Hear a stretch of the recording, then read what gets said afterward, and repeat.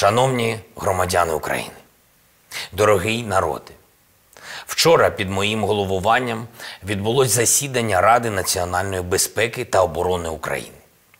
За останній місяць четверте. І можу запевнити, не останнє. Найперше, хочу подякувати усім присутнім вчора членам РНБО за важливу роботу, активну позицію та готовність захищати державні інтереси України. Не секрет, що останні рішення РНБО викликали значний резонанс, схвалення у суспільстві та, зрозуміло, обурення тих, хто знаходить в рішеннях РНБО свої прізвища та свій бізнес. Сьогодні я підведу попередні підсумки, розставлю крапки над і та простою мовою поясню вам, нашим громадянам України, що саме відбувається.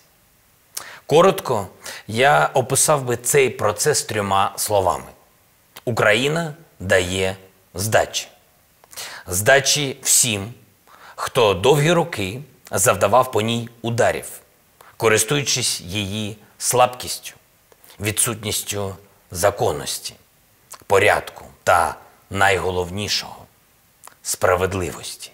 Справедливості, яка довгі роки для звичайних людей була навіть не дефіцитом, а чимось міфічним, ніби з легенд про цвіт папороті.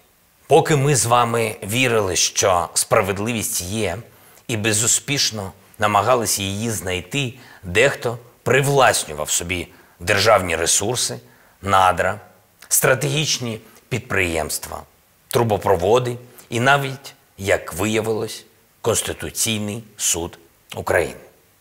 Одним словом, все, що погано лежить. Відновлення справедливості в Україні було однією з моїх ключових обіцянок. Кажуть, обіцяного чекають три роки. Ми почали трішки раніше.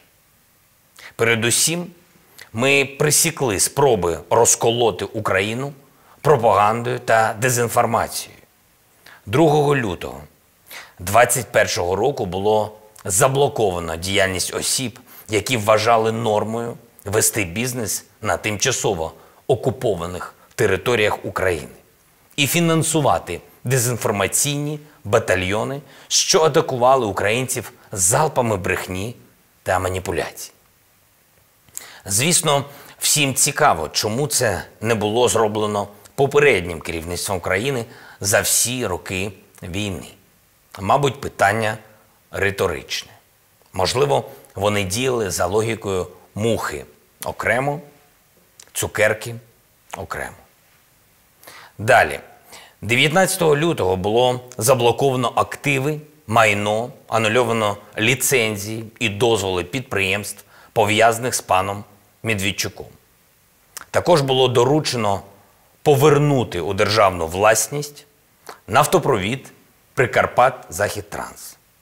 І не менш важливо з'ясувати, за яких обставин у 2015 році, в епоху гетьманства, всім відомого кого, у приватній власності опинився державний нафтопровід довжиною майже півтори тисячі кілометрів.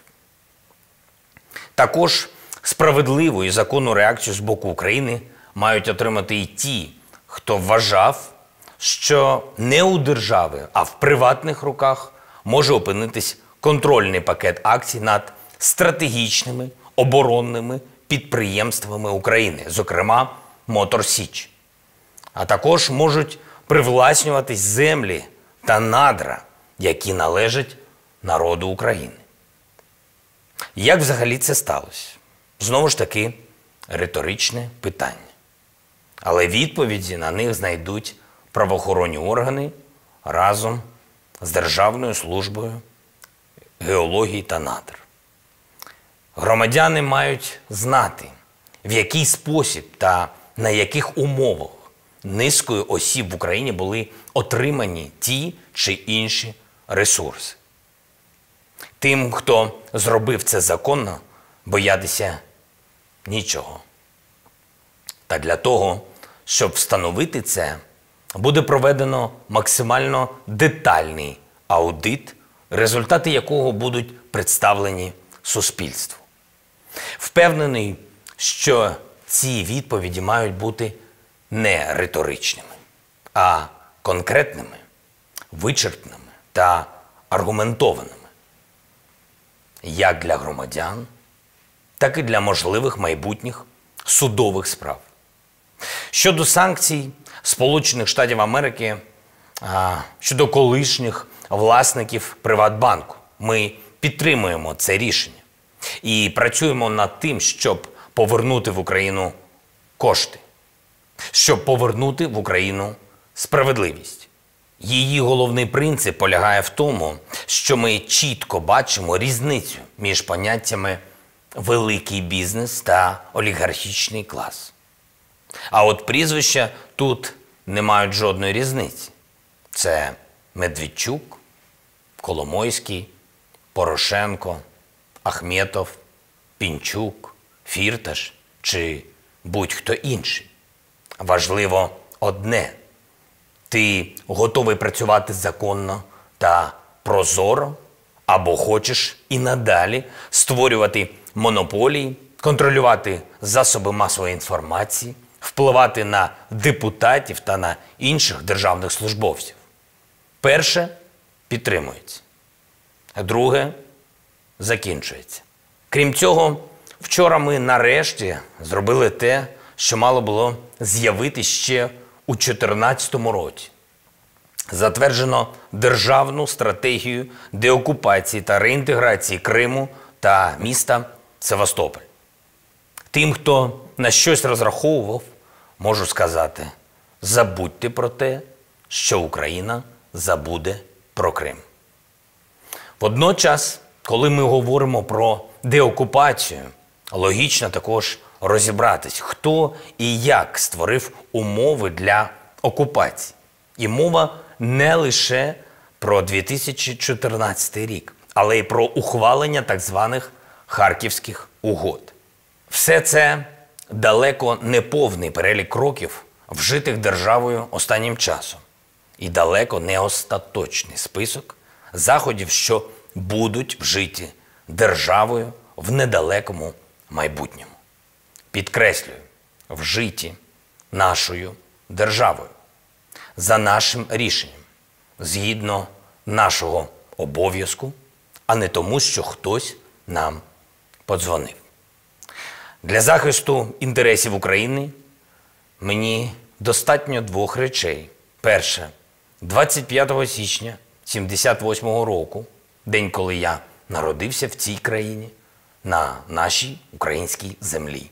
Друга 20 травня 19 року, коли я присягнув боронити нашу Україну усіма своїми діями. Додаткових мотивацій, зокрема від наших партнерів, я не потребую. Підтримки так. І за неї ми завжди будемо вдячні. Але в першу чергу ми самі маємо себе захищати. Замість нас цього ніхто не зробить.